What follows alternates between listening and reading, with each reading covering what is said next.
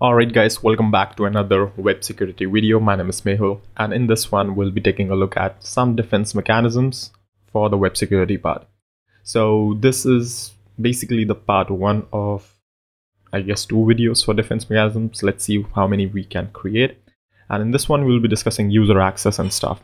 So the basic principles for defense mechanisms is basically you have to prevent users from having unauthorized access for your web application you have to handle user input to prevent unknown behavior on your server or on other users profiles or you know any sort of page which is exposed to them.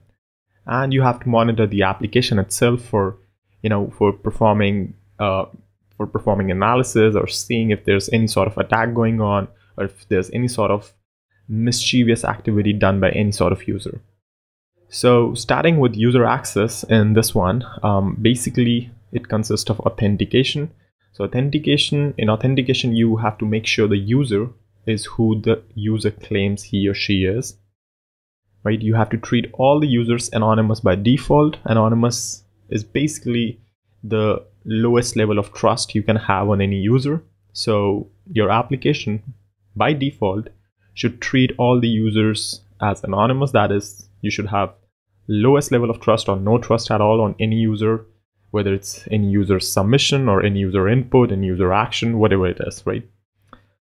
For improving authentication control, you can also have multi-staged login. That is maybe OTP on email address, that is one-time password on email address, two-factor authentication, stuff like that. So that could be implemented to improve authentication. Now, there are some fundamental flaws with authentication as well, which are very commonly found on the web.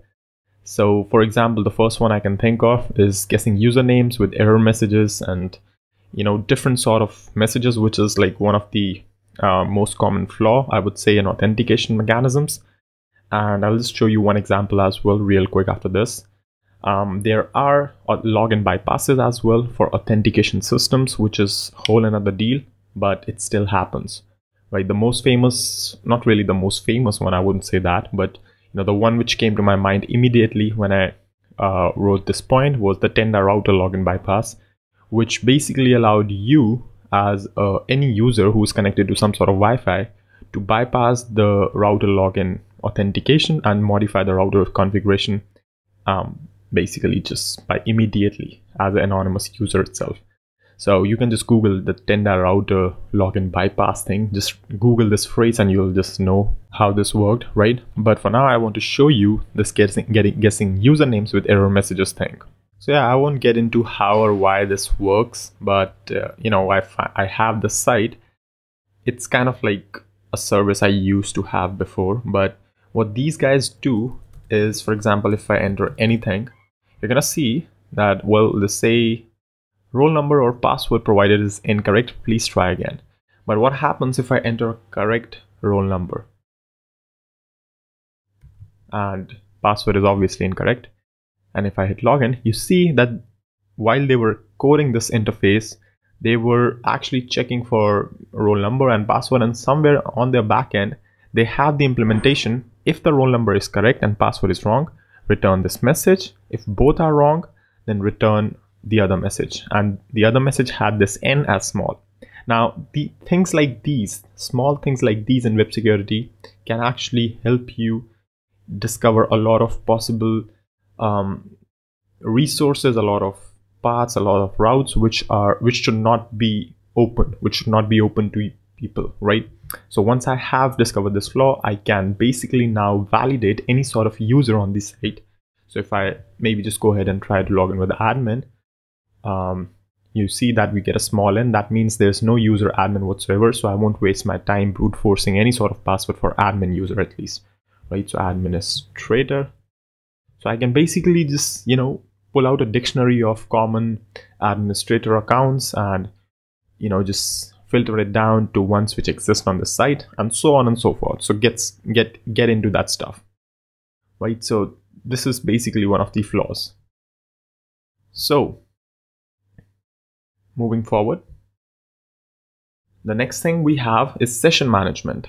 With authentication comes session management. So session management allows um, your server to differentiate one user from other users, right? So your server would be receiving multiple requests a second. Some are for static resources, some are for um, you know, some are for actual data retrieval, some are for authentication, so on and so forth. So it, it allows you to differentiate one user from other. And how does it do that? It basically creates a session for every particular user using a token. Now this token is sent to the client, which makes use of this token and sends it back to server on every request or on at least on the request in which he or she wants to authenticate him or her, herself. And uh, that could be done by HTTP cookies or basic auth. And finally, a couple of flaws with session management could be weak or predictable authentication tokens. That is, your tokens are basically just combination of username and password and MD5'd over that. So that's that's a weak combination of token.